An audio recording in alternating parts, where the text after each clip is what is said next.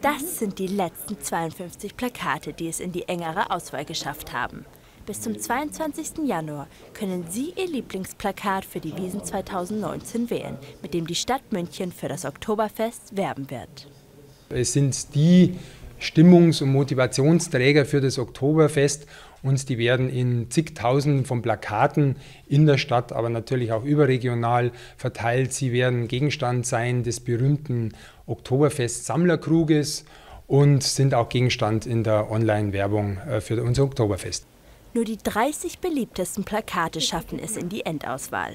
Hier mittelt eine Fachjury den Sieger des Plakatwettbewerbs.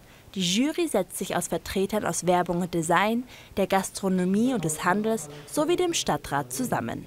Anfang Februar wird der Gewinner oder die Gewinnerin dann bekannt gegeben. Es sind auch wieder eine Reihe von äh, Kriterien. Zunächst mal muss natürlich das Thema Oktoberfest in geeigneter Art und Weise transportiert werden.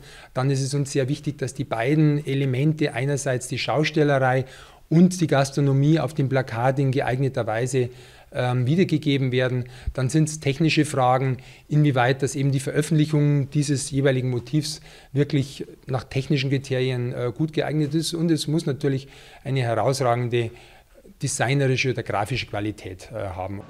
Seit 1952 schreibt die Landeshauptstadt als Veranstalterin des Oktoberfests jährlich einen Wettbewerb für das Plakatmotiv aus.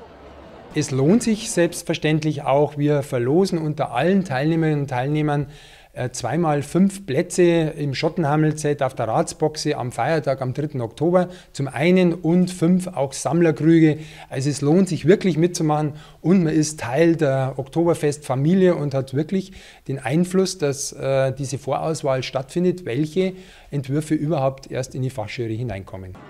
Eine Woche lang können Sie noch Ihr Lieblingsplakat für das größte Volksfest der Welt wählen.